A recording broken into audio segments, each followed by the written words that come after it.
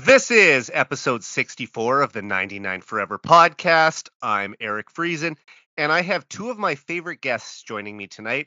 They are the co hosts of the Oil on Ice podcast in Brazil, Gabriel Candido and Diego Pontes. Welcome back to the show, guys. Uh, it's always a pleasure to be here again, Eric. It's a pleasure to be here with you as well, Diego. And of course, let's. Uh, it's always good to talk about the others, talk about the great fans as you are, and it's always a pleasure. It's always a pleasure. Yeah, my pleasure too, Eric. Hello, guys. Hello, Gabriel again. So it's gonna be a fun night, you know, to talk about Oilers and other things going on.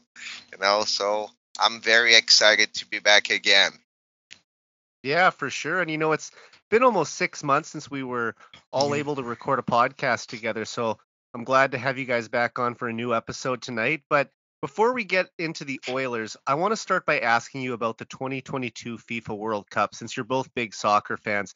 Uh, did you expect Brazil to go further than the quarterfinal? And what did you think of Messi finally leading Argentina to a World Cup victory? Gabriel, you can start us off tonight.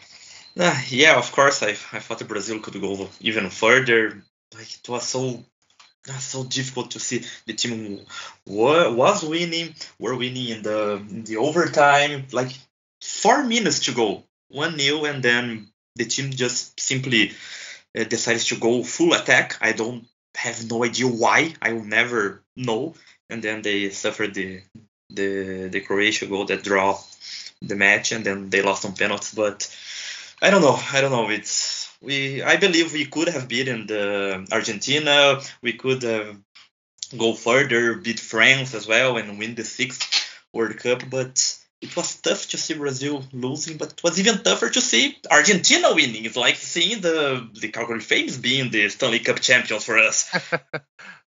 I have right. a feeling. I, I have a friend here in Canada who's a big uh, Brazilian soccer fan. She moved to Canada from Brazil in 2011, and uh, I'm sure talking to her, it, she feels the exact same way about uh, Argentina winning.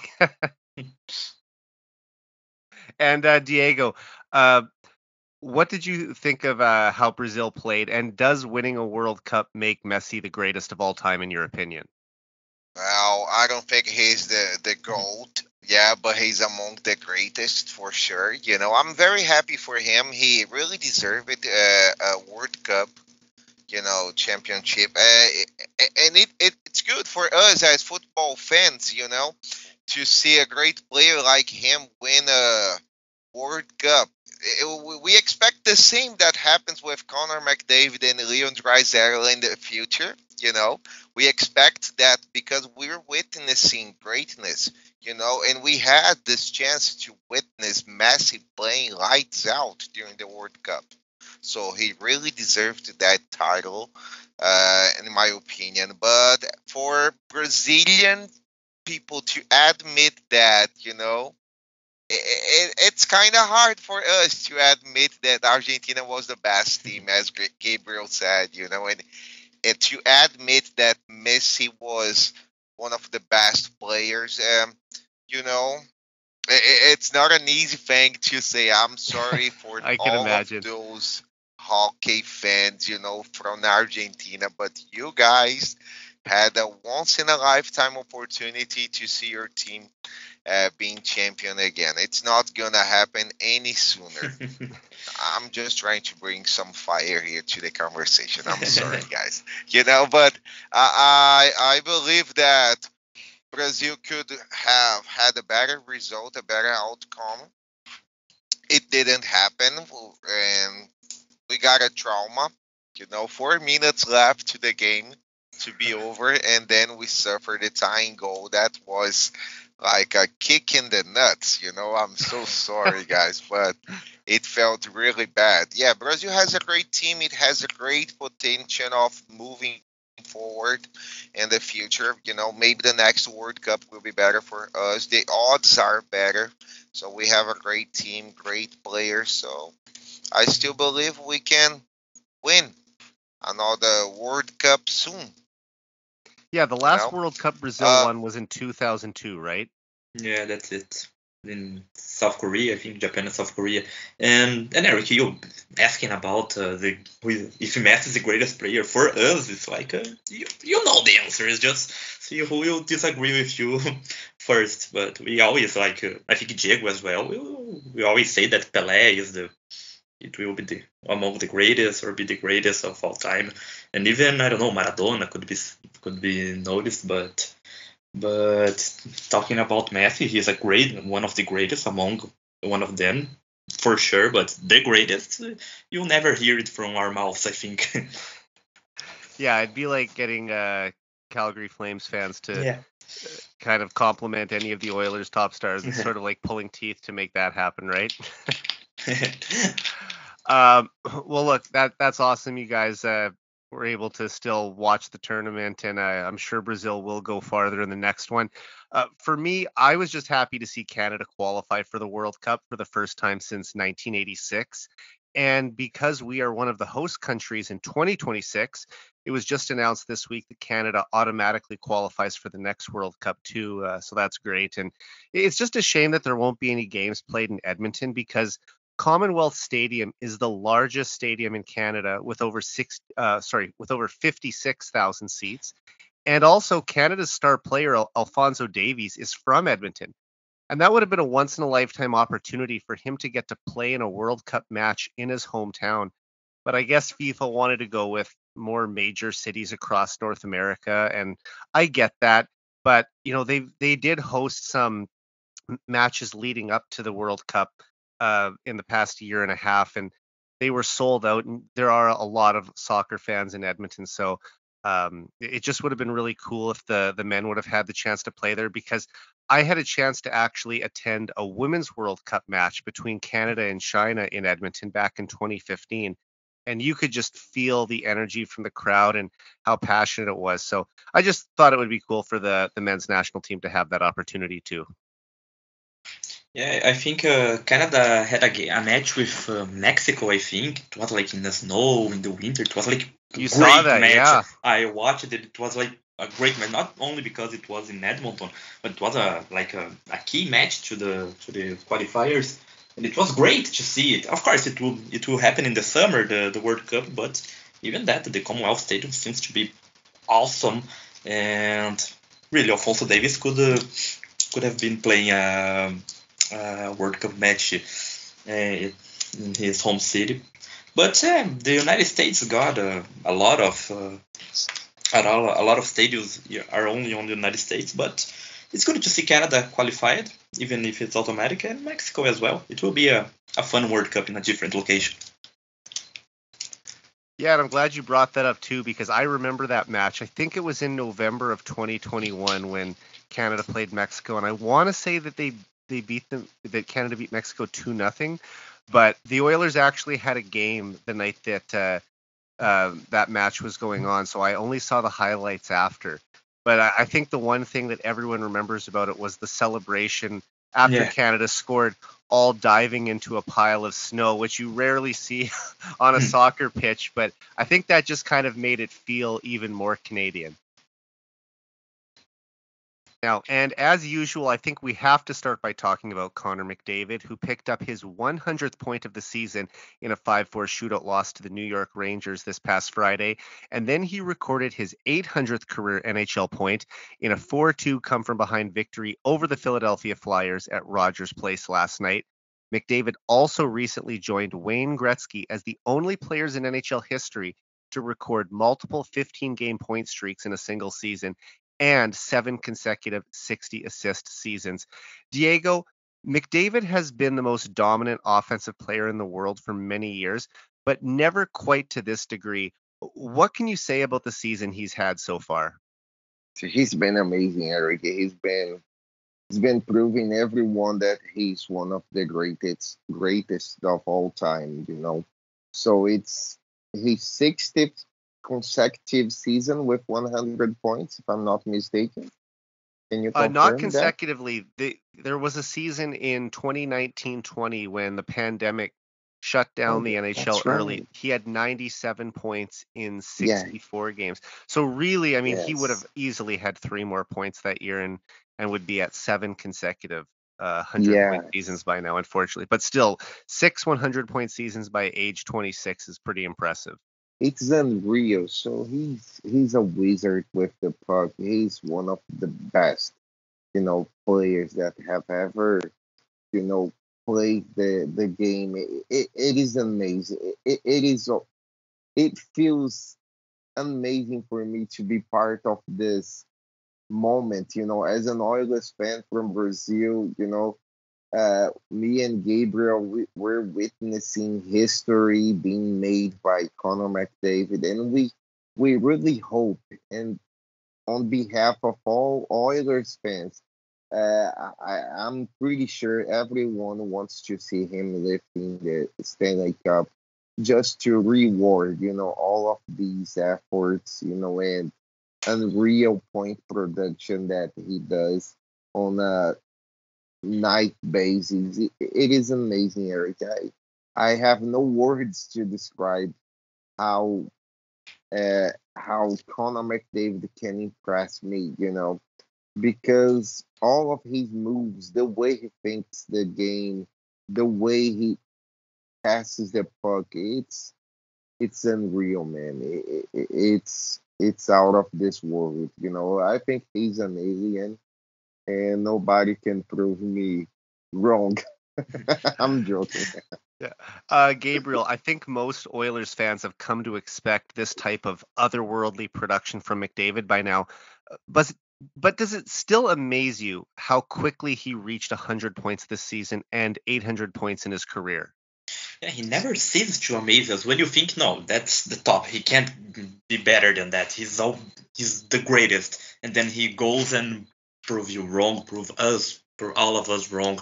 Man, 100 points in 60, uh, in 56 games, like it's amazing. As I said, it could have been the the seventh uh, season with 100 points if it wasn't by the the pandemic one in 2019-2020, you know, which we recorded only and by quote only 97 in 60 64 games. Uh, he's the fastest to to get to 100 since himself in 20, 2020 2021 and he did it only in 53 games i think. 50, 56 i'm sorry. 53 uh, two years 53? ago yeah. It was 53 so i was right. Anyway both of them are great in 53 uh, like is this uh, only crosby i think has six seasons, like the, the ones who are actually the ones who are playing uh, right now in the NHL, and he did it in 18 seasons. Connor McDavid did it in eight so far, and he has like a lot of a lot of uh, points to do, a lot of improvement, a lot of seasons in the highest level ever. So it's great to see McDavid. We we are witnessing history, and as Diego said, as everyone thinks, uh, uh, everyone wants to see Connor McDavid lifting the, the Stanley Cup soon. He deserves it by any means. He's one of the greats. He's already in the Hall of Fame of the hockey, and he isn't even in the in the middle of his career, I think. But and let's hope to see it soon because the the time to win is is right now with McDavid and Draisaitl and other Oilers great players. Like if there is one that can take the Oilers to, to the Stanley Cup. For sure, it's him. He's he's our modern Gretzky. so I want to see our modern Gretzky lifting the cup, as Gabriel said. You know, everyone wants that. Oh man, it, it, it's gonna be huge when this happens, and I'm sure this is gonna happen. And Eric, I still believe Connor McDavid will score 192 points, you know, in a season. I believe that he has been increasing his points productions every single year. So maybe it's just a matter of when and not of with. I never time. forgot that prediction of yours, and I hope that it does come true eventually. Um, and, and, Gabriel, like you mentioned, two years ago, McDavid had a season for the ages when he reached the 100 point plateau in just 53 games. Uh, he also had 72 assists that season, and there was only one other player in the league that even eclipsed 70 points, and that was his teammate Leon Draisaitl. Hmm. And despite putting up 105 points in only 56 games, his critics said that McDavid's numbers were inflated by playing in the weaker Canadian division. However, the Oilers are now back to playing against the entire league, and McDavid is still producing at virtually the same rate. Uh, he's on pace for 148 points in 82 games this season.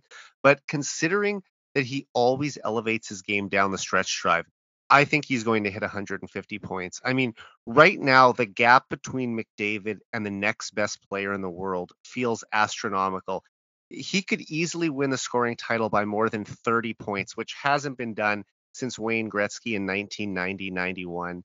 Uh, McDavid also became the fifth fastest player in NHL history to record 800 points last night, reaching the milestone in just 545 games. But what makes this accomplishment even more remarkable is that he missed nearly half of his rookie campaign with a broken collarbone He's also played through two pandemic shortened seasons, and yet he was still able to reach 800 points before the end of his eighth NHL season. Uh, and since he entered the league in 2015 16, no one else has even reached 700 points. In fact, there's only seven players who've even hit 600 points during that span. So I think that really illustrates how much better he is than all the other superstars in the league.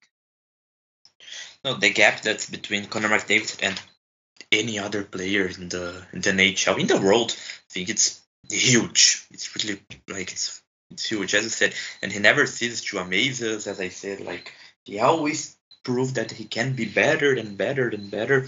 Always, always. It's it's like he is our our modern Gretzky. When they ask me like 20, 30 years in the future, I can say that I saw Connor McDavid playing with the Oilers. I hope to say I saw him lifting the World Cup in Edmonton, but but it's great to see him playing. Like it's it's amazing. He and think about it, the the second player with the most points, of the best, is Leon Draisaitl. That is the Edmonton Oilers as well. We are living like in a after that really really hard decade that we had with the Oilers in the 2010s until the end of the decade.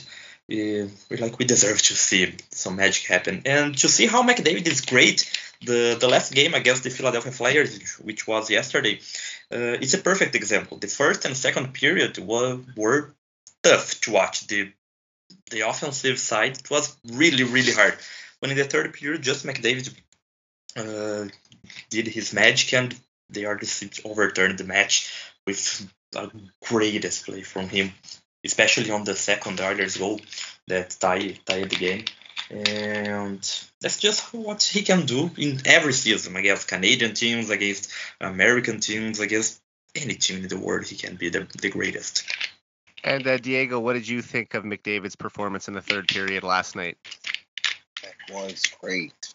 And that was so important as the captain of the team. He needed that performance, to, you know, to boost the team's confidence and then bring that win we needed badly that win. So I'm so glad that he stepped up his game, you know, and he brought everyone around him him to to be better, you know, and win that game. Those moves, you know, he did uh, between the two Flyers players was out of this world, you know.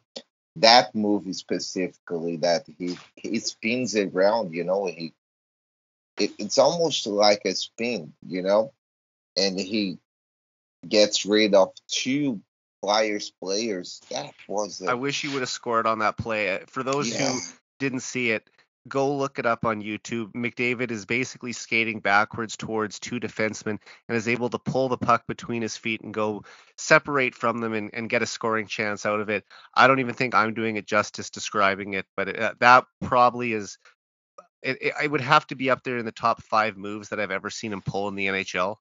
Yeah, that that was out of that this world. Yeah, I, I I got amazed when I saw that move. You know, and all those plays, the milestones that he reached, you know, uh, at that game yesterday, he's so important to this team's success. You know, I, I mean, Leon Draisaitl also it's as important as him, but McDavid is the captain. He drives the team, so it's it's his team. So when he steps up his game, I'm sure the Oilers have a better shot at winning the game. You know. So it was it was an amazing effort, and I, I'm so glad, Eric, that we we we can watch that. You know, we we can see him playing this way, playing this well. It, it's such a treat, you know. And I'm glad that he got his 100th point of the season and 800th career point, both at home in front of the Oilers fans. Uh, I, I, think of Leon Draisaitl's two 50 goal seasons. They were both on the road, so the Oilers fans didn't get to see it live in, in at Rogers Place. And I hope that when Connor also eventually scores his 50th goal for the first time this season, that it will be at Rogers Place too. And also McDavid, by reaching 100 points in only February, joins Bobby Orr, Wayne Gretzky, Dale Hawerchuk, and Mario Lemieux as the only players in NHL history with six 100 point seasons by age 26. And if you really think about it, since we we talked about the fact that uh, the pandemic cut his 2019-20 uh, season short, he really should be at seven right now, um, which makes it even more impressive. And just going back to last night, while McDavid's 800th point made most of the headlines, Leon Draisaitl also recorded his 700th career NHL point, and Ryan Nugent Hopkins established a new career high in points with 70 on the same power play goal. Gabriel, it seemed fitting that McDavid, Draisaitl, and Nugent Hopkins would all hit a milestone at the same time, doesn't it?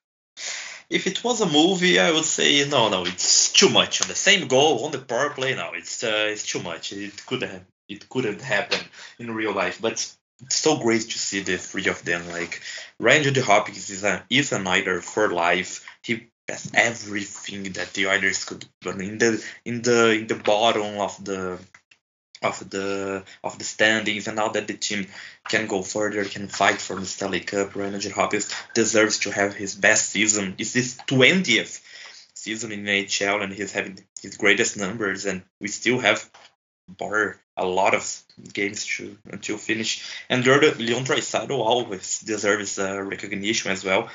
Uh, obviously, we'll talk about McDavid in the headlines first of the the 800 points, but Leon Draisaitl getting to 700 points, is also great. He's having great numbers as well.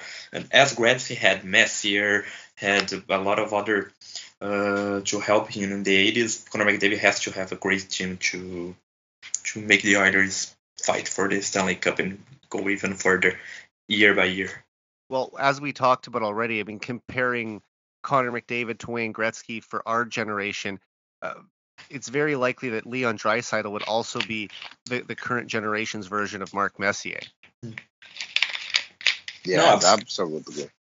Um, and Diego, going into the third period, did you have a feeling that McDavid, Draisaitl, and Nugent Hopkins would all hit their milestone before the end of the game? I, I was confident that was going to happen, but I, I wasn't sure that this could be the game that uh, Nuge and Draisaitl and McDavid would reach their milestones.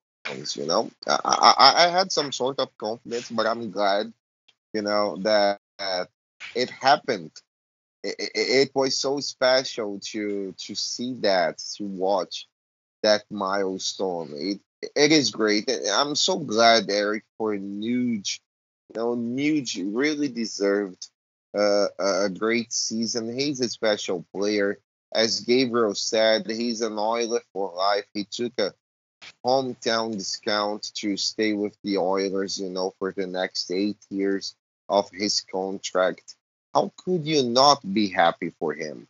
You know, I, I'm so happy that he's having a season for the ages. You know, his base of points is about nine nine points. Can you imagine? We could have he, 300 point scorers on the Oilers this season. Yeah, can you imagine that? Even Zach Hyman, why not? You know, he has three points less than Nuge at the moment. So we could have four.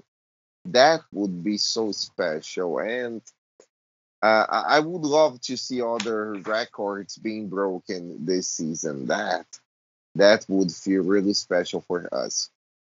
And even if they fall short of getting to 100, it's very likely that um, Nugent Hopkins and Hyman will both reach 90 points. And Draisaitl, I figure he'll be somewhere around 120 points. McDavid's going to push for 150.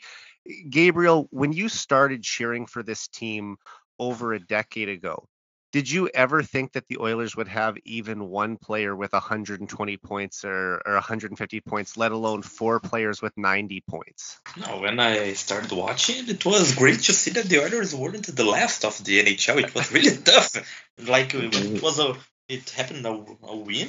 It just following the draft uh, and seeing the prospects and the thing. And it's so good to think different now. It's so good to think that yes, we can fight. We have a great team. We have a lot of great players in the offensive side, and it's great to see as well that the the players have amazing numbers. Draisaitl, McDavid, Nugent Hopkins, even Zach Hyman, as Diego said, in the regular season. But that the team had great numbers as well in the last playoffs, for example. Like McDavid had 33 points in 60 games, 16 games. That's amazing. That's amazing. That shows that the team isn't just for the regular season. The team can go to the playoffs, can fight, and can go even further than the last last playoffs. Yeah, and and Diego, how about you? When you started cheering for this team, did you ever imagine that they would have this much firepower one day? No, I would never expect Eric and Gabriel. So I, when I started cheering for the Oilers, it was in 2011. So one of our best players were were Shawn Horcoff, Ryan Smyth, You know, at that time, Jordan Eberle. So I would never imagine them scoring about 100 points. Can you imagine? So it's really special for me. And I know that the Oilers were rebuilding at that time, and Taylor Hall and Jordan Eberle, as well as Nugent Hopkins, all went on to become very good NHL players. But if you think about it, in 2010 2011, Eberle led the team in scoring as a rookie with 43 points to yeah. and to, to think yeah. of where where we are now i mean like you said mcdavid had almost 33 points in the playoffs last year compared to 43 points in an entire regular season so um, obviously that was a, a, very dark time in oilers history compared to where they are today but still uh, you know in my wildest dreams i don't know if i ever thought the oilers would have a player that would push for 150 points i just remember mm thinking 15 years ago when they had Ales Hemsky, I always hoped that he had 100 mm. point potential and thought that he could get there. Um, ultimately, injuries uh, never allowed that to happen. But to be at a point now where there's four players on the Oilers that are all pushing for 100 points, it's uh, man, it's been such a thrill to watch these guys this year. It's, in, it's insane to think that more than one player can reach the 100% mark for sure. Leon Draisaitl will get there too, but that's why like uh, I remember one of my first memories is the eight point night for Sam Gagner against the against the Chicago Blackhawks and in 2012 in 2012 and that's like even today we talk about it because we the decade didn't have anything more than that until Connor McDavid and Leon Draisaitl started to to play. It's like uh, it's amazing to think what the team can do, what the team in the stats, and of course where the team can can reach with all that power. Yeah, definitely. And you know, just going back to last night's game, the Oilers were dreadful in the first 40 minutes, but they came out with a really solid push in the third period. And then Devin Shore drew that four minute high sticking penalty and as soon as they got that power play, I just had a feeling that at least one of them was going to get a point and hit their milestone. But for all three of them to get a point on Draisaitl's power play goal was just awesome. I mean, mm-hmm. McDavid, Draisaitl, and Nugent Hopkins are the Oilers' three best players. Uh, they're also the three longest serving players on the team, and, and they're all having career years too. So it was great to see them all factor in on the game tying goal and hit their respective milestones in the process. And I want to give a shout out to my buddy Brian Swain as well, who dug up this stat last night. McDavid, Draisaitl, and Nugent Hopkins each recorded their 70th point of the season by game 58, making them the fastest Oilers trio to all record 70 points since Wayne Gretzky, Jari Kurri, and Mark Messier did it in 55 games back in 1987-88. So just incredible that the Oilers have uh, had this trio, and even like I said, we can include Hyman in that as as far as uh, uh, top performers on the team, and he'll be at 70 points soon too. Yeah. No, for sure, and uh, it's it's a great stat to be honest. When I listen and I, I didn't I didn't saw it. I, I will search about it and I make sure to to put on my profile as well. It's uh it's great to see the the three of them. They deserve all the best from in Edmonton, and they they deserve to win in Edmonton for sure.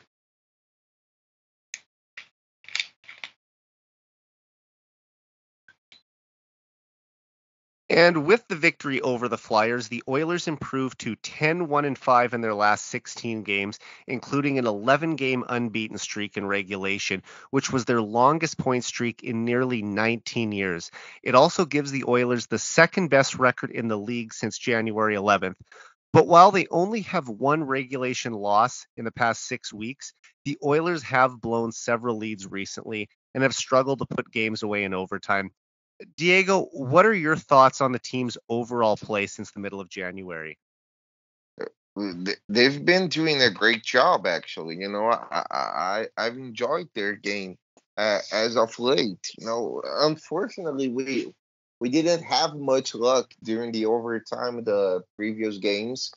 Uh, and the shootout, uh, I, I don't think uh, uh shootout is one of our strongest qualities. You know, I mean, the Oilers' biggest qualities. But I do appreciate that we're managing to to get some points, you know, out of these games. So they've done a solid job, but I still think the, the Oilers need a better def- defenseman, I would say, you know, and someone who could win some face-offs in their own zone because this has been one of our weaknesses as of late. But I I really liked what they've done so far. Uh, they they have a great record, right? It's 10-1-5. Yeah. The last 16 games. Uh, that, that is a solid job. So one regulation loss I, I enjoyed a lot, and this has kept the team uh, in the in the race for the Pacific, you know, uh, I think they could, you know, take over the Pacific Division sooner, you know. So yeah. we, we, just need some luck, but I, I've really liked it, and I think this team has got some potential to to do much better. So, but I really liked what they've done so far. It has been uh, a great sequence of games, you know, despite some points that they lost, you know, along the way they could have they could have banked these points. But I'm okay, you know. So we're still managing to get some points. So I'm happy for that. And uh, Gabriel, how well do you think the team has performed over the past six weeks? No, the record is pretty. It's good. It's pretty great, to be honest. It's a really good record. Ten wins, one loss and five uh, overtime or shootout losses. But when like some fans and myself included, they they complain a little bit, even the, if the if the record is great, it's because we believe that the team can be even better than that. Like uh, against the the Detroit Red Wings and the New York Rangers were two tough games to watch. Like the team uh, blew a great lead, mostly against the New York Rangers, but against the Colorado Avalanche, for example, the team played great, but against the when you play the the former champion, you can't you can't make any mistakes, to be honest. But it's good. It's a good record. I think the team can go, uh, can improve it for sure. And the race for the Pacific Division is so tight. It's such a it's like a the separation between the first and the others, which uh, right now are in a wild card spot. It's three points, I believe. It's like really, really small difference. But we know having Connor McDavid, John Draisaitl, Nugent Hopkins, as we said, with a lot of records being beaten, a lot of milestones reached, uh, we have to believe that the, the team can can be even better at this time of the of the season. And a lot of that pass, like the the defense has a lot of troubles. The goaltending seems to return to be an issue, and then they start playing great.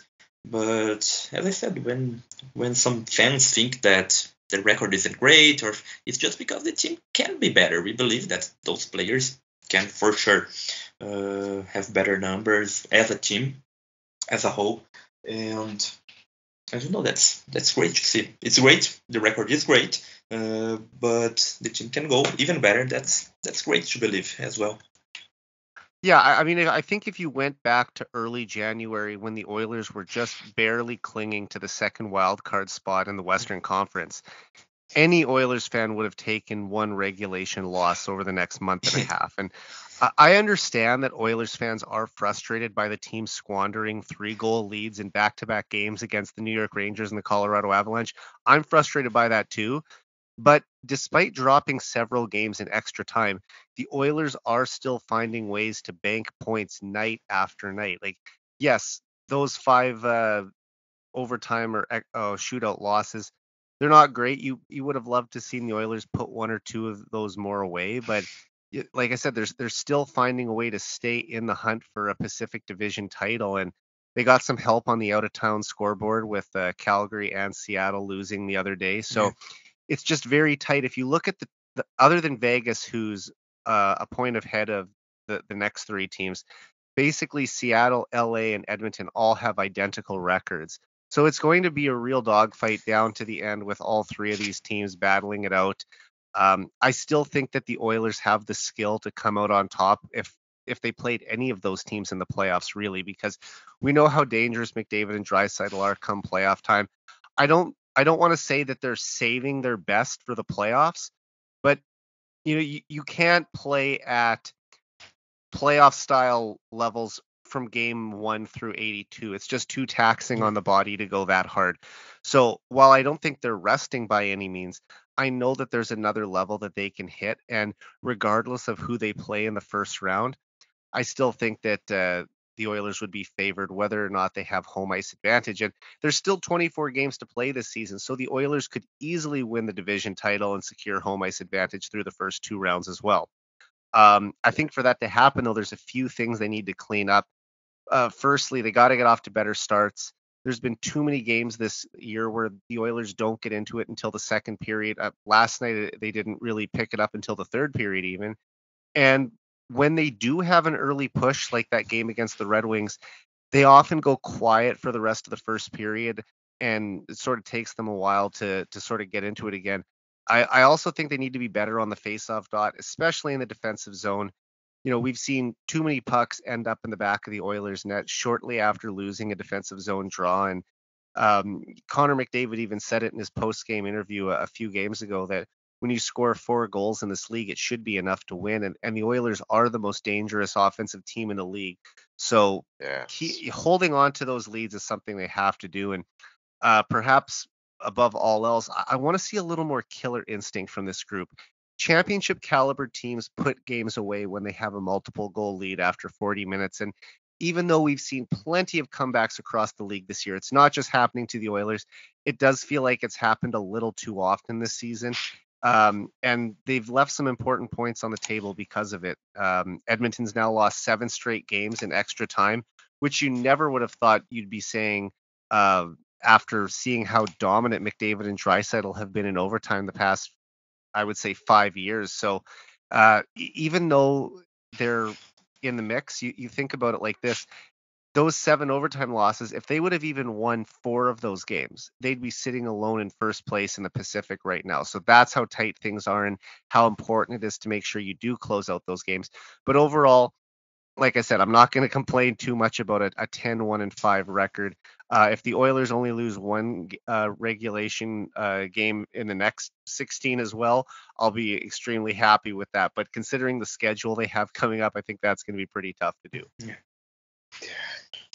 No, and as I said, like uh, if you're saving, you can't play 82 games. Uh, of course, when you watch 80, all the games, we hope for a win by me, the, the others could have uh, win at all, but we, we know that's impossible. But you know that the players are capable of doing it. McDavid, we talked a lot about uh, how he was great in the last playoffs, but Leon Draisaitl as well. With the ankle injury, he played so great. Like uh, I, I'm not worried, as you said, about who will the Oilers play in the playoffs. Like they can be on top as well. It's tough. The the schedule is really hard right now compared to what it was in the last 16 games. But I don't know if if it is Vegas, I'm okay with that. If it's Dallas or Winnipeg, I'm okay with that as well. Los Angeles, like that isn't an issue. I think the Oilers can for sure. Um, well, I still the... think the Oilers are going to be a top three team in the Pacific. I don't yeah. think they'll be a wild card team. But regardless if they finish first, second, or third, uh, like Vegas, I, I think is is would be the Oilers' toughest opponent, especially yeah, if, if, Mark Stone comes back from his injury and and if they do load up and get, let's say, a Timo Meier at the trade deadline or something. But mm. I I just look at the the other two teams, whether it's Seattle or LA. I'm confident the Oilers would beat either one of those teams in a seven game series. They already did beat um, LA last year. They know they can do it. Going up against Seattle now, they they were two and one against the Kraken this season, I believe. So it's it's possible for for them to beat either of those teams. I just think you want to obviously give yourself the best chance you have and, and lock up home ice advantage. Yeah. Yeah. And as I said, it won't be easy. Of course, it won't be easy. Any team, it won't be a, an easy series. If it, it is a, a lower team in the standings, it's better, of course. But if, if it ends up in the worst case scenario in the wild card spot, then then I'm I'm not worried about it as well. I think the Oilers can can go and, and can fight for it. For sure. And Diego, how about yourself? Going into the playoffs, are there any teams in the Pacific that really scare you? No, no team scares me at all. Um, and I, I don't want to sound like, oh, my team is the best. Actually, no, no, that's not the point. But but I do believe that the Oilers have a superior team and they step up their game, you know, against tougher opponents. Uh, everybody's speaking about the next sequence of games against Pittsburgh, Boston, Toronto, Winnipeg, and I'm very confident that the Oilers will win at least two or three of these next four games, you know because they normally step up their games. And as you said before, uh, in this final stretch, Connor McDavid goes supernova, and all the team makes a stronger effort. You know, so I'm very confident that no matter which team will show up in the playoffs, in the playoffs, I mean, against the Oilers, the Oilers will have a better uh, chance at winning the the series. You know, so uh, if I had to bet uh, on a team that would scare the Oilers, uh, I would say the Minnesota Wild. Because Which they, they, they wouldn't even have to play until the conference final and um, yes. And you know, yes, the Oilers do have a hard time with Minnesota. But even though they're not a top team in the Central Division. For some reason, the Oilers always have trouble with them. So I, I can see why you would say that. But like I said, we, we wouldn't have to worry about them till round three if we got there. Yes, yes, because I do believe the Oilers will will do fine, you know, the first two rounds. And uh, I don't know, Eric, maybe if we face Avalanche again, so it won't be easy but I believe this year we have better odds, you know, at winning the series uh, uh, in a potential conference finals against Colorado. So it would be a tough match, you know, and it's it's a team that scares me, but I don't think Vegas is going this further. And if there was another team that would scare me as well, it would be Winnipeg because I, I I have no good memories about the last match. you know, the last series they they had together. So it could be a it could be a tough team, you know, to face. But o- overall, I don't think any team would scare would scare me. You know, like as a, a very hard opponent against the Oilers. I think the Oilers, if they uh, make some good additions, you know. Um, Which we'll talk in about this deadline. yes, I think we, we we we have no reason to be afraid of anyone. Right. And and the West really is wide open this year. There isn't an unstoppable force like the Colorado Avalanche were last year who went 16 and 4 in the playoffs. They've had some guys miss significant time this season and even if they do come back for the playoffs, which is still to be unseen, um, there, there's going to be some rust there. So I just think this is a year the Oilers really have to go for it.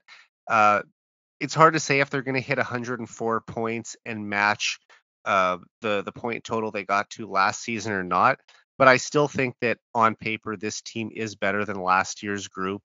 Also, they're a year more experienced and uh, having been to a conference final now, so uh, they'll be ready for whoever they play. And, and like I said, with McDavid and Draisaitl always um, having that ability to go nuclear in the playoffs, anything could happen.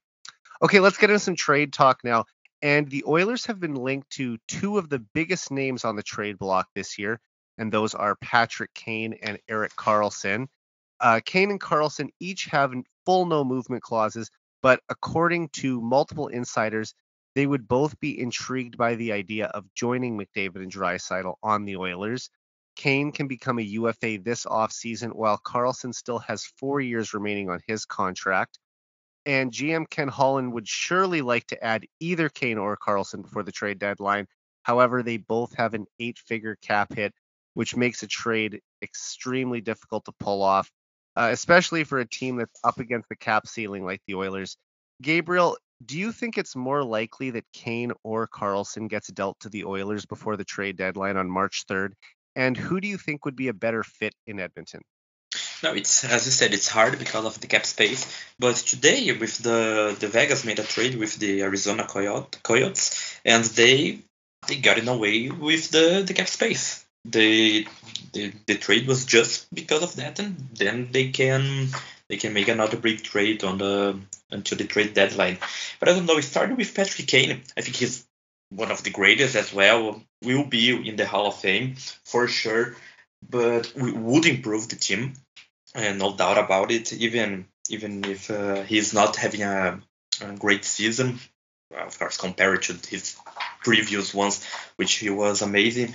But I don't know if the Oilers, if he is what the Oilers are are in need right now. Like the the offensive side of the Oilers are the, one of the best of the NHL so far with Connor McDavid, Draisaitl, Hyman, Nugent Hop, Hopkins, Evander Kane as well, uh, if he can go back healthy. But I don't know. The Oilers should focus on the on the defensive side. Like it's, it's really hard to watch. Like Darnell Nurse and Cody Ceci is still being the the top uh, the top pair on the on the defensive side when it's clearly that's not working pretty well. But and as I said, the cap space makes everything harder. About Erik Karlsson, it's even tougher to be honest because he has a for more years on his 11.5 million uh, annual average, but he's um, the favorite for the Norris Trophy. He could help in the offensive side as well, more than the Oilers are used to. But I don't know. I think the Erik Karlsson is the one the, the Oilers should be focusing.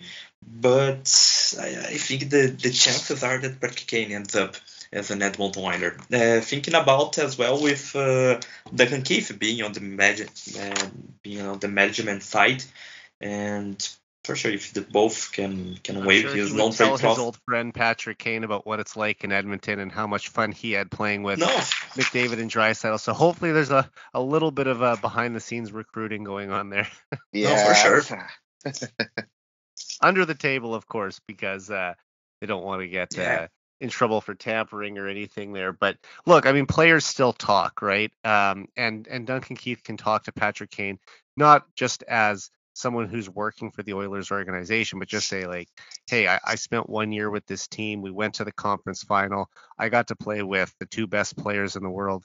Uh, this is something that I think you'd want to be a part of, even if it's just for one spring, because it's very likely that as an American player, he's going to sign with an American team yeah. uh, in the summer. But uh, for him to come here for one playoff run and take a chance to win a fourth Stanley Cup, I think that would be very enticing.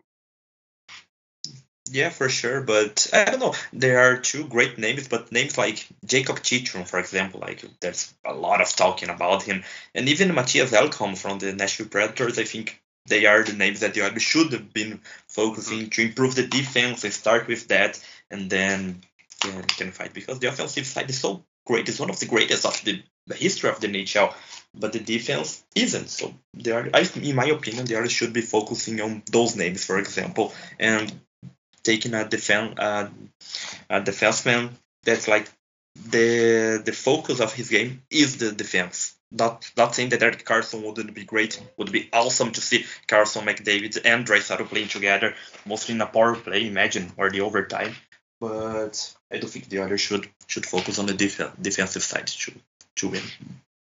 No, and you make a great point there, especially since the Oilers are uh, lead the league in goals for, but they only are 21st in the league in goals against. So they're right at the cusp of being a bottom 10 team defensively, but it's their otherworldly offense that's been al- uh, allowing them to outscore a lot of their problems.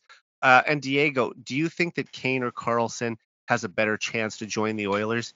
And who would you like to see uh, join the team as they load up for a cup run? Eric Gabriel, my heart says Erik Karlsson. I, I, need to see him in, Oilers mix. You know, we need to see that for the sake of the hockey. We we, we gotta see this this moment happening. I, I really want to see uh, Ken Holland make a big trade, an impactful trade, and I hope it's for If it happens, it's gonna be a very special day in oil country.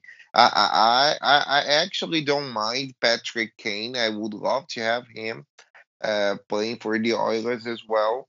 But I, I I don't know. I don't know, Eric. I don't know, Gabriel. We have, you know, uh, great or better odds at acquiring, at getting him. You know, because New York Rangers also made a pitch. They still want him, and I've heard that Kane really want he wanted did want to go there. play. You know, uh, sorry to cut you off there, Diego, but just yeah. um, you know, because they went out and traded for Vladimir Tarasenko from the St. Louis Blues, I think that makes it less likely that Patrick Kane will go there because it, it sort of felt like Tarasenko was their big uh, trade deadline acquisition. So I'm not saying it's impossible, but it, it definitely feels like the Rangers are out as far as uh, teams in the mix to to bring him in. I think it was Elliotte Friedman from Sportsnet who said the the yeah. top three suitors uh, for uh, Patrick Kane would be the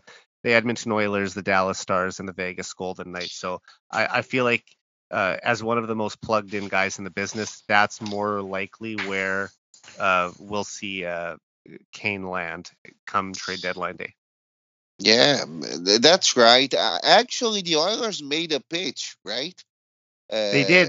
Uh, yeah, and Friedman put that out too. That uh, yesterday the Oilers uh, made uh, their their offer for Patrick Kane, and uh, obviously we we didn't hear anything. If we would have had some breaking news this afternoon before this podcast, that would have definitely given us more to talk about.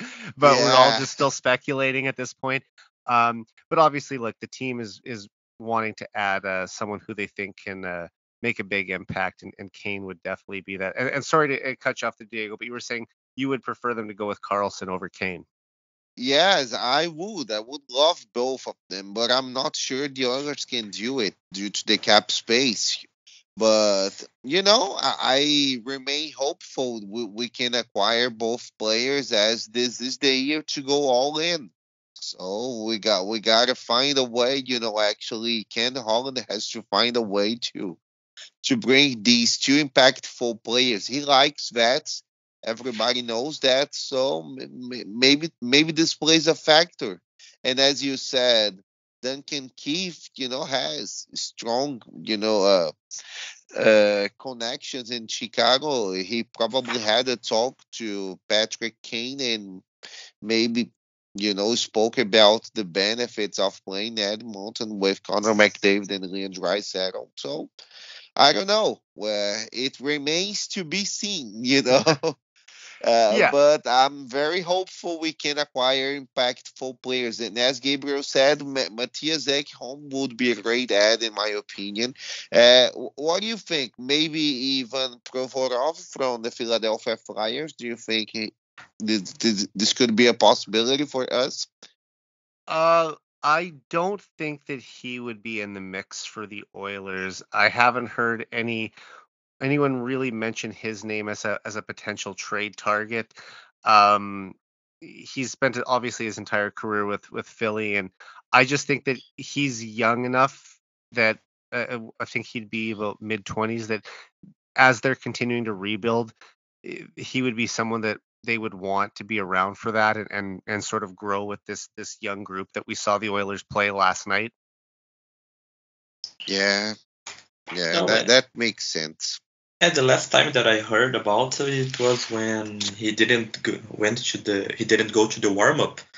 But Yeah. and then I, I, I still posted, oh maybe there is a trading coming, and then it was just because the the LGBT shirt that he didn't want to use. So it it has that off uh, the, his way of thinking off the ice as well. That I don't know if could be great for the team to the image.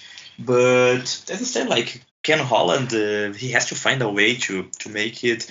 Like there are players like uh, Jesse Puljujarvi that's every day I see a different trade for him. But also Kailer Yamamoto, Warren Foegele, uh, even Cody Sissifer as well. They they can be trying to change them to to fit the cap space of uh, another player. And the Ken Holland has to put the the draft picks uh, available in my in my opinion because in uh, in theory it will be like a a really low pick for the Oilers in the first round or even in the other ones because the Oilers has the has the expectation to to go uh, really deep in the playoff run in, in theory and he has to make it work. Like for example in Jacob Chychrun he in my opinion he he should put it on the table as well even talk about it even try to to reach it in a deal like and and he has a really big paycheck to do it so he has to find a way to make the the Oilers even better Yeah. And you know, there have been rumors about a potential Patrick Kane trade to the Oilers since last summer. And Kane is the player that I've wanted the Oilers to go out and get all season. They already have arguably the best top six forward group in the league with McDavid, Draisaitl, Nugent Hopkins, Hyman, Evander Kane, and Yamamoto. Adding a player of Patrick Kane's ilk would easily give Edmonton the most lethal offense in the league. I mean, Yeah. uh, they're leading the, the NHL in goals for and power play percentage. And some people say, how much better could they get offensively? But with Patrick Kane in the fold, they would have three former MVPs and scoring champions in the lineup. And Kane also gives the Oilers so many different options with uh, what they can do with their forward lines. Uh, Jay Woodcroft could play McDavid with both Kanes and have Draisaitl and Nugent Hopkins each centering their own line, or the Oilers could reunite the dynamic duo full time on the top line and, and have uh, Patrick Kane with them, or he, they could move him down to the second line with Nugent Hopkins and Yamamoto and, and or Hyman. So there's you know he gives them a lot more versatility because of how much offensive depth they have, especially in, in the top two lines. Um, and it it doesn't sound like the acquisition cost would be too high either, even if the as far as trading. But the the biggest thing is if the Chicago Blackhawks agreed to retain 50% of Kane's $10.5 million cap hit, the Oilers would still need to find a way to send out $5 million worth of contracts or get a third team involved to make the money work because they simply have zero cap space. And even even at 50%, it doesn't work for the Oilers. They they would need to send out a, a Warren Foegele maybe even a Kailer Yamamoto too, or or I Yessi Puljujarvi. Like there there would have to be money going out for money to be coming in, and and that's just to fit him under the cap for this year. But I, if the Oilers are able to swing a trade for an impact player, I think Kane is more likely to end up in Edmonton than Karlsson. Uh, I I agree. I agree. Uh, actually, I I think I think the ask, you know, someone reported it was at least a second round pick uh, for Patrick King plus yeah, second uh, round a pick few and a prospects. prospect. But the the thing is, is that the Oilers need to send out more money than that. That's that's where it comes. So they would they'd almost be throwing in Jesse Puljujarvi, uh, which you know some people will say he he needs a fresh start, and and that that could be the case. But it's more than anything because if they're going to bring in a big contract, they they simply have to have money going out the other way to to get them under.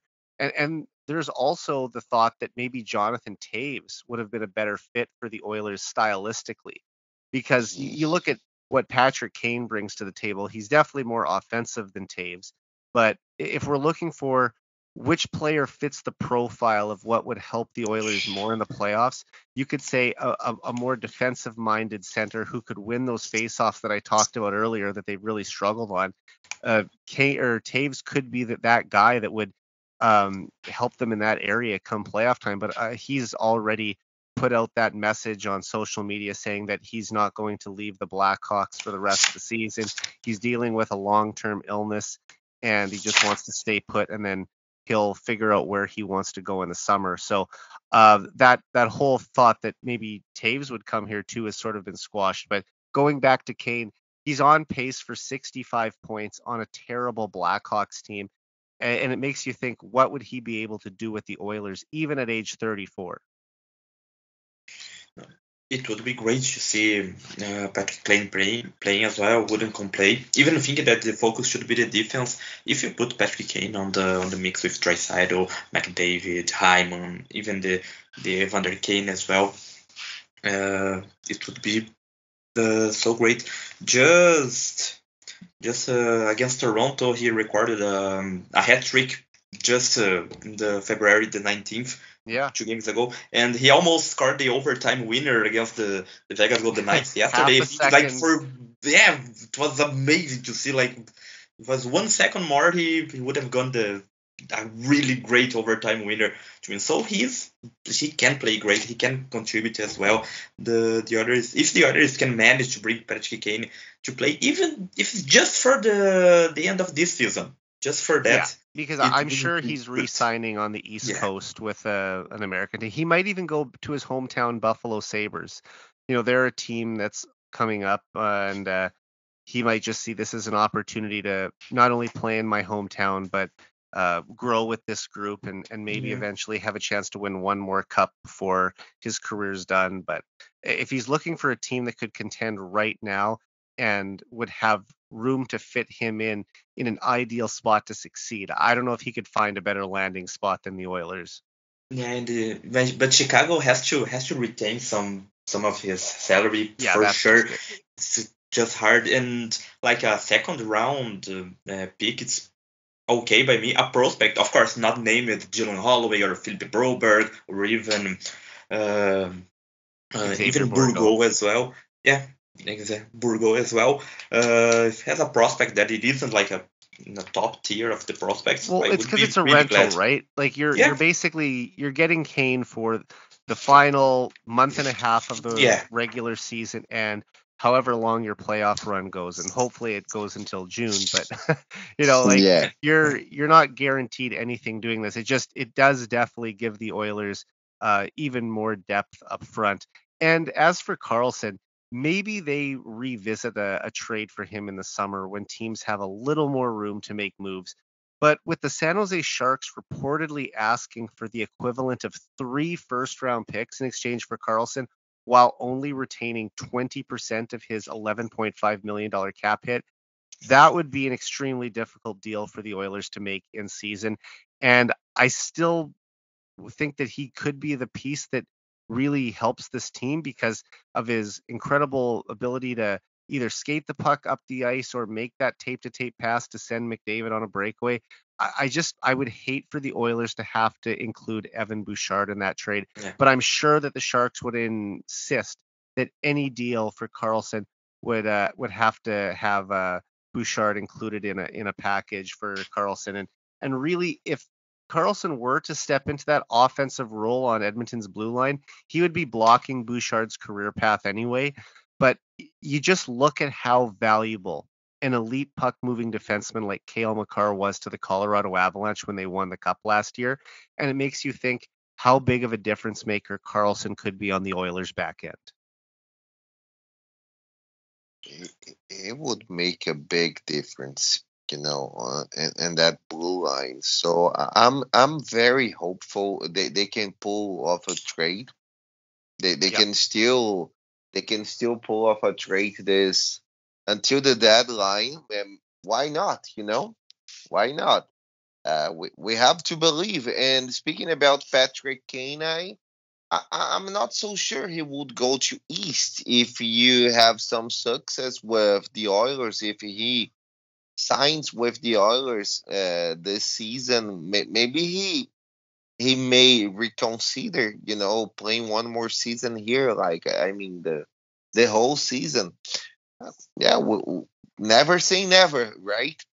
But, yeah, I mean, it, it's definitely not impossible. I just it all signs point to this is a guy who's lived in the East his entire life. He's lived in the United States his entire life, save for one year where he played junior hockey with the London Knights in the OHL. I just think it's it's very very likely that that's where he'll want to end up and I totally understand that. But as for just one playoff run for a few months, I think that uh, he would uh, he might be willing and it sounds like the insiders that are are most plugged in are saying that he he would have interest in coming to Edmonton. Otherwise, they wouldn't put this information out there. Um, but I think that's like I said, more as a rental. Whereas if you're trading for Karlsson, let's say in the summertime, uh, that's a guy who's going to be on your team for the next four seasons and and give you multiple playoff runs with him. Oh yeah, for sure. And when when you said that Evan Bouchard would have to be involved with the Sharks, it would be pretty hard to see him going. He has such a great future. He has such high high expectations for him, even in, in the others or any team in the NHL.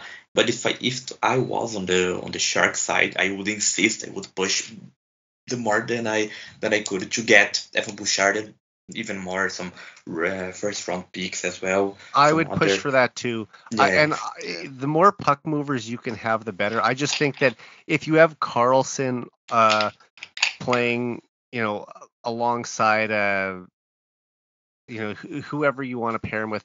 I don't know if you want to shelter a, a Cody Ceci or if you want to elevate him and have him with Darnell Nurse. It just it it probably does like I said, block where Bouchard could get to because when they drafted him in the first round, 10th overall in uh, 2018, the thought was that he's eventually going to be the Oilers' top pairing and top power yeah. play unit defenseman. And now, if you have Karlsson coming in, that's a big chunk of his 20s where you figure that he would eventually be sort of ascending into that spot. And now Karlsson's basically taking it all up. I already think that Bouchard doesn't get enough power play time as it, as it is. And you can make a case that Tyson Barrie is such a perfect fit for that spot and, and has such great chemistry with McDavid, Draisaitl, and Nugent Hopkins that why would you ever take him off? And I mean, case in point, last night Barrie scores a quick goal, three seconds off a draw to uh, give the Oilers a um, a goal late in the first period. But uh, just having that big slap shot that Evan Bouchard brings is such a weapon. And I, I think that I would almost like to see that more often where after the first minute of a power play, those two switch off. Like you keep all the same forwards out there, but Barrie maybe gets the first minute and then Bouchard gets the second minute because it it changes the look of your power play as well. And uh, if the if the defense have to challenge Bouchard more to take away his shot, that would open up even more space for McDavid to create his magic lower in the offensive zone. I'm thinking about Erik Karlsson, for example, in the first line, and Evan Bouchard on the second one. Broberg taking up the, the, his game even better and better uh, at each each game. Like the defensive side of Edmonton can be really great with all of them. It's hard. Like uh, if I have to choose, like uh, I love the the things that Tyson Barrie is doing. Like he's playing his best in a, in a long time. But I would rather see Tyson Barrie uh, being traded to the uh, from the Edmonton to get Karlsson or even any other. Well, because player. he's older, of course. I mean, and you, yeah, but, you want to hold on to the younger defenseman that you think has 60 point potential, which yeah. I do for Bouchard. It's just uh, if the, if the Sharks are saying, okay, we're sending out our top defenseman, and you know we need a piece to replace him for the future going forward, Yeah. we would rather have the 23 year old defenseman than the 31 year old defense, and I totally understand that. Um, just uh, to, to wrap up on the trade talk, though, uh, I, I want you to put your uh, your prediction hats on. Uh, when a week when the Oilers play the Winnipeg Jets uh, a little over a week from now, after the trade deadli- deadline has passed, and I'll be at that game next Friday in Edmonton. Uh, who do you think Oh, nice. will be? Great. Yeah, yeah, it's it's only the second game I'll have been to this season, so I definitely need to get back out to Edmonton Oh, for, for a game. sure. Uh, I also had a chance to go to Ryan Smyth's uh, Oh, um, yeah. Oilers Hall of Fame night back in November, which was very cool. Uh, but Yeah. just um, so going back to the predictions though, when when the Oilers play the Jets just over a week from now, who will be the new addition to this team? I'll, I'll get one prediction from each of you. Uh, Diego, you can go first. Erik Karlsson. Okay. I believe. he still believes it's happening. yes, definitely. So th- there is a chance, you know. Uh, uh, although many reports have been saying otherwise, uh, I do believe Holland is trying to to pull off, you know, something big, uh, impactful trade, and I, I I think Patrick Kane won't be this impact trade, you know, and McDavid, Draisaitl, Draisaitl, they asked for a defenseman who could move the puck. So maybe this this plays a factor, you know, it has it has some importance in in the Oilers management. So Well- why not? Why not? No, And- and I- I think that they choose to believe. yeah, we see that we've seen that far too often where McDavid is building up speed through the neutral zone and he's looking for that pass and they, they don't have the guy out there who can hit him in full stride. Uh, Bouchard probably is the best on the team at that, and, and Tyson Barrie can make Yeah. a really good first pass too, but there's too many of their defensemen that don't have the the elite passing skills to to hit them in stride and, and send the Oilers in on a either a breakaway or an odd man rush. Uh, like Darnell Nurse is one of the best puck transporters in the league from the back end. He can skate Yeah. the puck up ice, and uh, for a guy that's six foot five, he's he's a very nimble skater, and, and he can really uh, get that puck up and, and into the offensive zone. But as for making that um, that great tape to tape pass from his own end up to uh, one of the Oilers' top stars breaking through the middle, you're probably not going to see that as often. It, it's never been one of his top skills. Uh, Gabriel, uh, for you, who do you think will be the Oilers' big trade line acquisition one week from now? Well, the other option that we talk about it would be Patrick Kane that the, has a lot of conversation going, and like um, I want to I want to say, for example, Mattias Ekholm that we already said about it, but I want to believe that the the others can bring the Jacob Chychrun from the Arizona Coyotes. That the a first round pick and some prospect, of course, not named Broberg or uh, Holloway or even Evan Bouchard, said, like it's a pretty reasonable price as well. He could help a lot, I think, the defensive side of the order. So uh, just not to to say the Patrick Kane, that's one of the other obvious choice. But I want, I really think that Jacob Chychrun would be Yeah. great, depending on the price and depending on the prospect that Arizona uh, asks so much. Uh, but I, I do believe he, he could add a lot to the Edmonton Oilers, and I do believe the price is is right. Okay, Uh, every season the price is dropping and dropping, and I think it's like uh, no one will get him. But but I think it's I would be g- glad if, for example, the others could bring him. Yeah, and I think Chychrun would be a great fit for this team. I, Yeah. I've wanted them to bring him in for a while. It sounds less likely uh, as the last couple months have gone on. It, it was more uh, a, a rumor that was uh, getting some uh, some traction back in say December or even November. But now, looking at it, he's been on the trade block for nearly two years. Obviously, he wants to get out of there. They're they they've been a bad team his entire time in the NHL, and this is what his seventh season. So for a guy that came into the NHL as an 18 year old defenseman, you don't see that very often, and, and he's endured a lot of losing. But still, the fact that he's a plus player on a bottom feeder team and, and was uh, producing at nearly a point per game pace as a defenseman, that is such an attractive option for the Oilers to bring in. And with uh, still being able to play solid defensively, I just think that the asking price is too high, and the Coyotes really haven't come down on that ask at all. Apparently, they're looking for two first round picks plus a top prospect, which is almost as much as what the San Jose Sharks are Yeah. um, asking for Karlsson. I guess the one thing is is that Chychrun only has a 4.6 million dollar cap hit Yeah, that's compared to Karlsson's 11.5 million.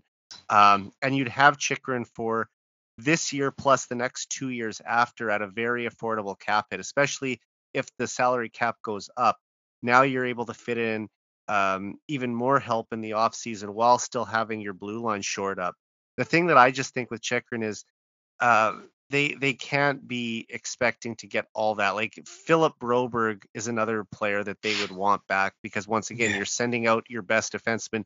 You want a, a top young defenseman to build around for their rebuilding core. And with the way that Philip Broberg has played the last two months, that's basically a non-starter for the Oilers. He's a guy who Ken Holland drafted. He was the first draft pick when Ken Holland joined the Oilers in 2019.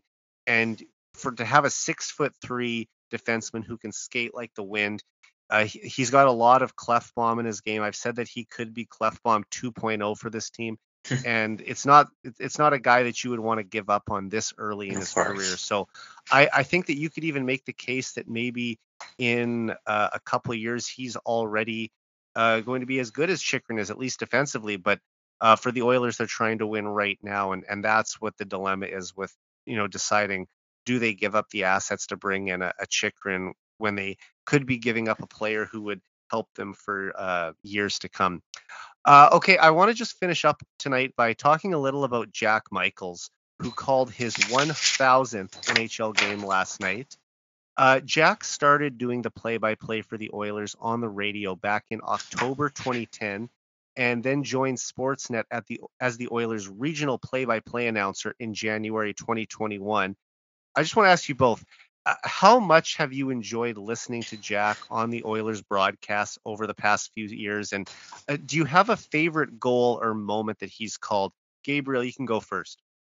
Uh, yeah, it's great to to hear like here in Brazil, like uh, it's tough to get the broadcasters, but and the the streaming that I use, like right now it's a league we stream. I, I watched the league of uh, law uh, some time ago. I watched it like uh, yeah, uh, I didn't watch it in a pretty legal way. But anyway, they just bring sometimes the the home broadcast when the Oilers play outside of Edmonton, and it's not always that I can that I can watch Jack Michaels. But when it is him that is in the in the broadcast, it's great. It's great for me. Um, a really great call that stands in my mind forever. It was when the when the Oilers beat the Sharks on the game five in 2017, and David Desharnais scored that overtime winner, and it was like so so great to see finally the Oilers are are going through the playoffs. They are winning. They can go even further. And then in the game six, the Oilers uh, closed the series against the Sharks in four two, and that overtime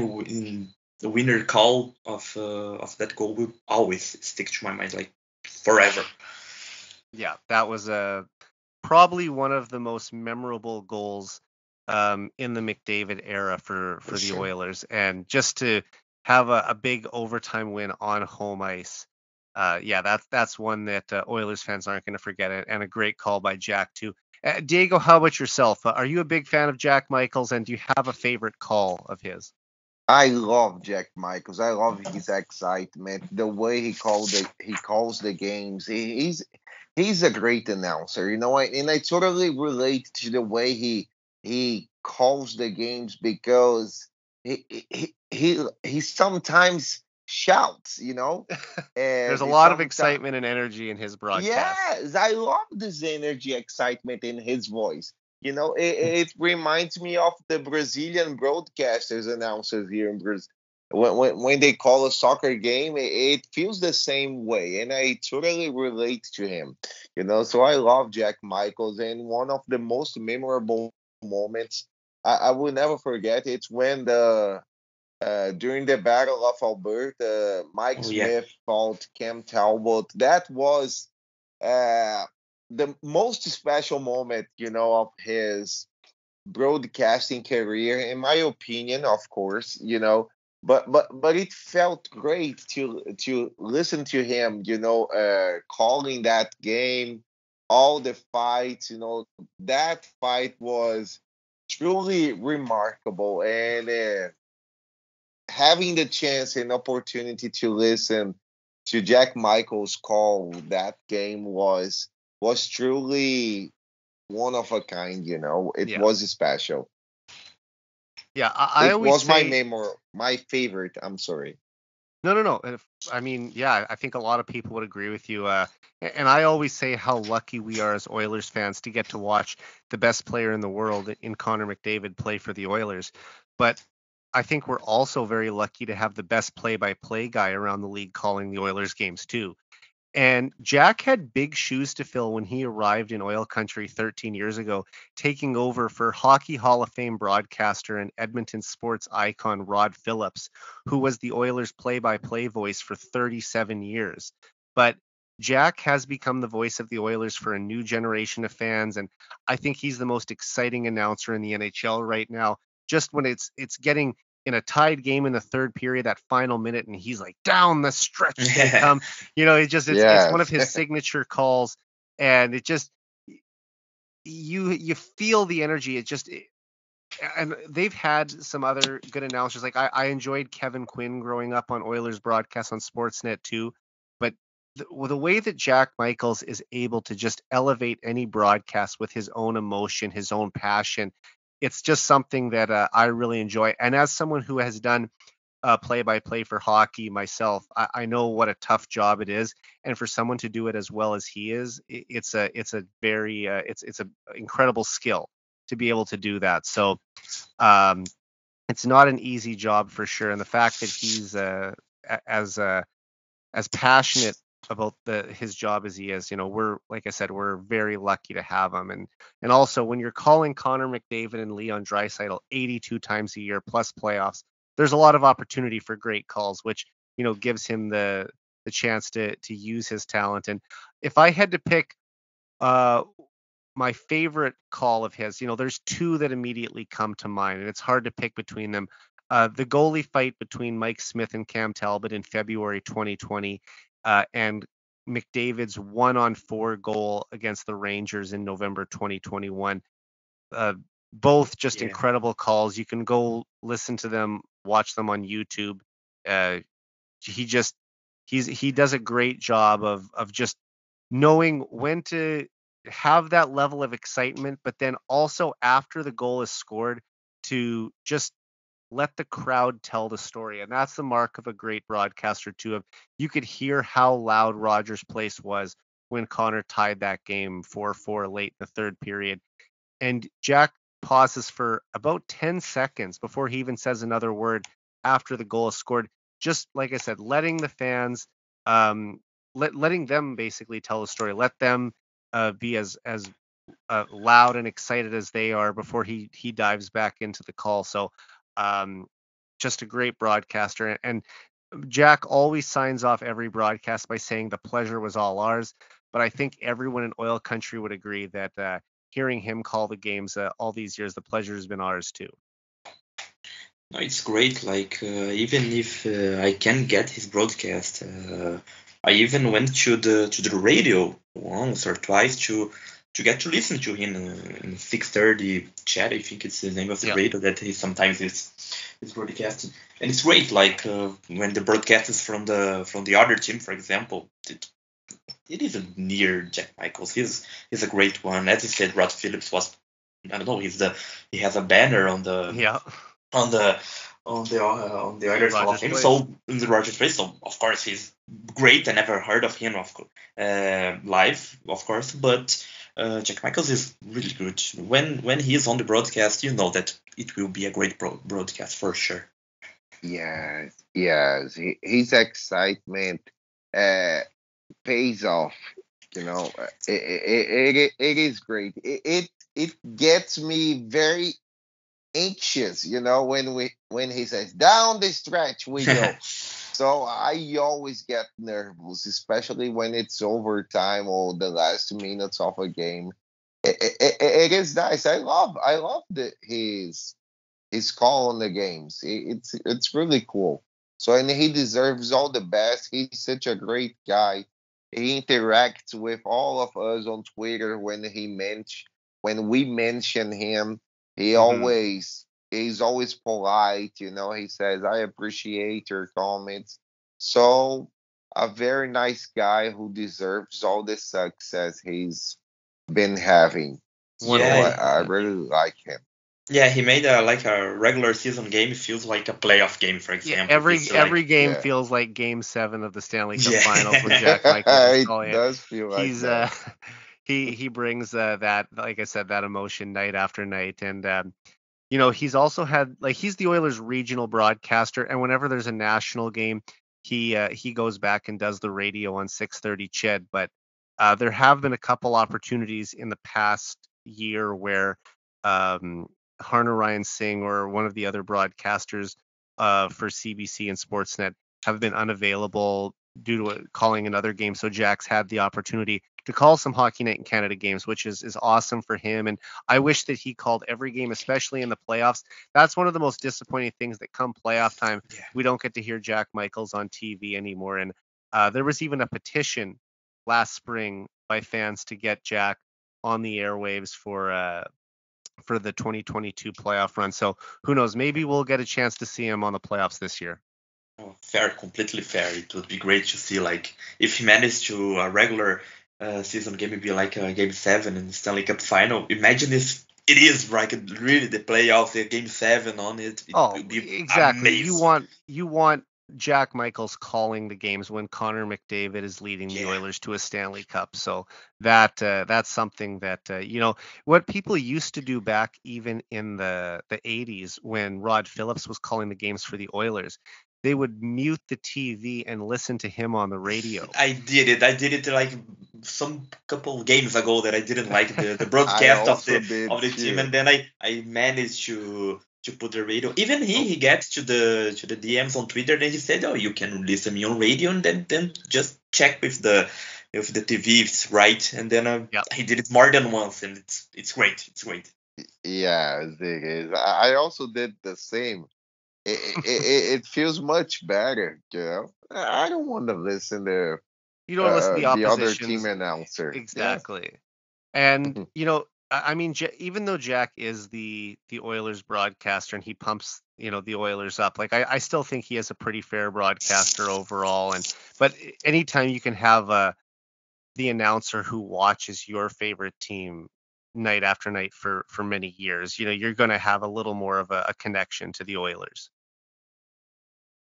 No, yeah, for sure. Like uh, watching in another broadcast is isn't the same thing. Like no. uh, I really don't like. I really try to change and even go to the radio and do everything to make the, the sound of the radio be alright with the TV. Like I already get the the TV signal like a little late from the the Canadian ones. I a lot of goals I know like 30 seconds before that it is a goal. Even yeah. for the other team, it's tough for me, but it's it's really great. Whenever I can, like for me, Jack Michaels would be on every Oilers game broadcast.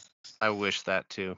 And like I said, he he called his 1,000th game last night. Hopefully, we'll have him for at least another thousand games too in oil country. Yes, absolutely. He deserves it. He, All right. I would love to see that. For sure. Okay, well, we'll wrap up now. But before we sign off, uh, Diego Gabriel, where can people follow you on Twitter? Um, for me, you can go to Edmonton Oilers Brazil in Twitter. It's uh, at EDM Oilers BR. There's a lot of a lot of commenters, of course. Uh, uh, most of them are in Portuguese. Uh, the profile is made for the Brazilians fans that can get to know the the hockey, the ice hockey that isn't a, a really popular a really popular sport in Brazil. And of course, the Oilers, Connor McDavid, Draisaitl, and everything show him how great it is to watch ice hockey, the NHL, and, and mostly Connor McDavid playing. It's like once in a lifetime experience. I like that you interact with the other Brazilian NHL accounts too when yeah, uh, that, when the Oilers are playing a certain team. No, that's pretty great. Like for the the whole week, I asked the St. Louis Blues about Colton Parayko, for example. We talk a lot about it with the Arizona Coyotes. I'm always telling something about the the Jacob Chychrun situation. The but it's great. It's great. Like we we really get to know each other. Like I, I even interact a lot with the the Calgary Flames. Like we we know that we are rivals on the ice, but it's great to to find someone who watches ice hockey uh, in Brazil, it's a pretty pretty difficult thing to do. And we have like a, a WhatsApp group with a lot of Oilers okay. fans in Brazil. Like yeah. we always it's a, lot of talking, a lot of things that people like are getting to know the team, are getting to know the the sport, the the trade deadline, how it works, how what is an LTIR, how how a con, how is a cap space doing. Like it's really great to to see the the NHL and and mostly the Edmonton Oilers growing even further in Brazil. Yeah, that's awesome to hear that the hockey community, especially the Oilers fandom, is growing in Brazil. Uh, just out of curiosity, how many uh, Oilers fans do you think you have in your group chat? Uh, let me check. It's it's not a lot, but it's a, good uh, number. Let me check. I was going to check that right now. So we have 46. 46, yeah, 46 is a lot, though. Great. No, That's it's more great, than I would have thought. Uh, they they were just talking about how the the Arizona Coyotes were beating the Calgary Flames right now, for example. So like yeah. they watch the Oilers and they they understand the NHL. Even getting the live update on the podcast. The game will be over by the time this posts, but hopefully the, the Flames will have lost another game yeah. to the the bottom feeding Coyotes. But, uh, and uh, and like I said, that's awesome that uh, you know the hockey community, like I said, is growing in Brazil, and that you have this group um, I love that you tweet everything out in Portuguese. I admit my Portuguese isn't great yet, so I do have to translate your tweets very often. But uh, oh, for sure. Uh, it's awesome that you do that. And uh, Diego, where can people follow you? Oh, guys, you can find me on Twitter. So it's Diego PR Barros, you know, with double R. No, and it's pretty simple. You can type Diego Barros, you will find me. So I, I always interact with uh, people in English, you know, as most of my followers followers are are from other countries, so I normally interact with them in English, but I also interact with some accounts in Portuguese, with Gabriel in Portuguese, and also speaking in the Oilers group as well, so interact with people there. So by the way, there there was a uh, there were two members of the Oilers group who met. You know, uh, oh, yeah, they they were together uh, a few days ago. You know, one yeah, of they... them came to visit me here in in my city, but I couldn't see him. So he saw the other friend who also lives here, and it, she's an Oilers fan as oh, well. So uh, it, it is really good. It is a special group. So we they they are always interacting, as Gabriel said. They really like the Oilers. They're trying to learn more about the Oilers. So we we always talk there. So I I always talk to them either in English or in Portuguese. Doesn't matter. uh, we we always we're we're always talking about uh, one of our biggest passions here in Brazil, which is ice hockey and they really really talk like when there is a game i don't i don't open the the whatsapp group for example. I just focus yeah. on the game and post it on twitter. When the game is finished like there is there are a lot of matches like 200 300 like they really watch the game and comment every single every single thing. It's really great and to get even more and more people. And if you're thinking about uh, following diego think it's his personal account he talks a lot about the Oilers. Like so like 95% of um, his Twitter is about the Oilers and his English, so it's really worth to follow him as well. He's really great. I really like oh, his thank comments. you, Gabriel. Really like his comments, his ideas about the team. They, they are really great. I'm not talking just because he's Brazilian and because he's here as well. I really, I really think he has a really, really great view and really great knowledge about hockey and the Edmonton Oilers. I would agree for both of you. Yeah. Thank you, guys. So it, it, it's always it's always great to talk about something we have in common that it's this passion and love for the Oilers. 100%. I think that's one thing that bonds everyone in oil country and hopefully within the next uh, four or five months, we'll be uh, celebrating an Oilers Stanley Cup too. There's a long road to go, but I think that this fan base deserves it as much as anyone. No, it That's will come. right. It will come sooner or later. 100%. We will see Connor McDavid lifting the, the Stanley Cup in Edmonton for sure. Definitely. Yes. All right, guys. Well, I want to say thank you again for being on the podcast, and who knows, maybe we'll do another one of these come playoff time. No, for sure. It, Uh, it, all, it, all- yeah. It's always a pleasure, Eric. I remember you were the, the first one, the first podcast, the first interaction uh, when I made with the Canadian fans, the Canadian fan base of the Oilers were with you. I'm always grateful with you, Eric. And it's always a pleasure. It will be a pleasure to talk with you guys again in the future. And I really hope to, to talk with you soon. So it's gonna be fun as always to speak about the Oilers again, especially during the playoffs. It's gonna be even more interesting. So I'm looking forward to the next show so we can talk again. For sure. All right. Have a good night, guys. Thank you. Oh, thank you, Eric. Thank you. And you too. All right. So for Gabriel Candido and Diego Pontes, I'm Eric Friesen. This has been the 99 Forever podcast. We're out.